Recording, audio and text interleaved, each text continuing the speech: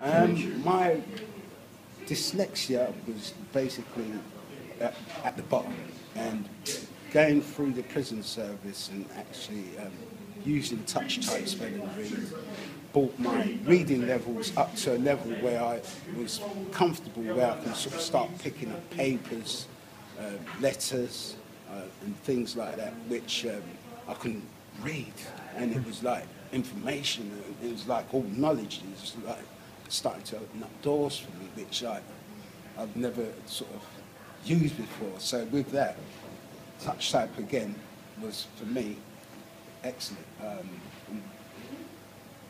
with that, it needs to be in, in the libraries and so forth, so you've still got access to basically um, afterwards. afterwards. When you leave the prison service, you can go into the library. You, you can. Yeah, you just log on. You can basically, even if you've got a PC at home, you can tap it again, tap in, get it straight up. So you're constantly getting input. Um, and I think being someone who's dyslexic, um, I found as soon as I came away from it and I stayed away from it for a while, my levels would drop. But as soon as I start to go back and using it again, my levels went back. So it was. It it shows me it's something which is needed, and it is needed there to stay there, so people have got access to it all the time. As you can see with my scores at the moment, um, and I've only been using it for the last uh, day or so. Uh, when we first got it sort of um, put on this PC here, and uh, I mean, just looking at this, this is like 95s and it's going 98s and it's sort of up and down at the moment. And it's only once I've actually used it. My levels, as you can see, and I hadn't used this program for nearly two years. And that was the first time I've gone back on after two years, and you can, as you can see, my levels have gone back up.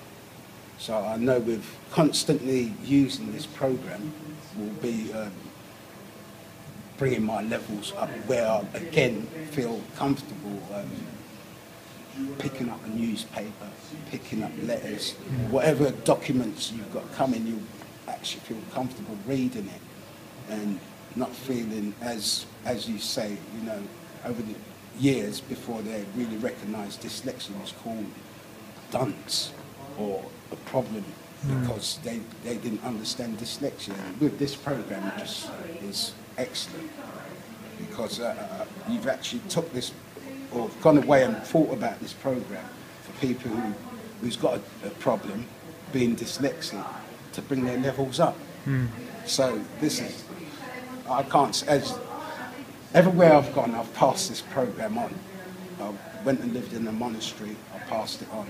I went to, I bought, I came to FTC, I bought it here. So everywhere I've gone to and I can see where this program would help, I'll mention it and basically um, try and get it online for them.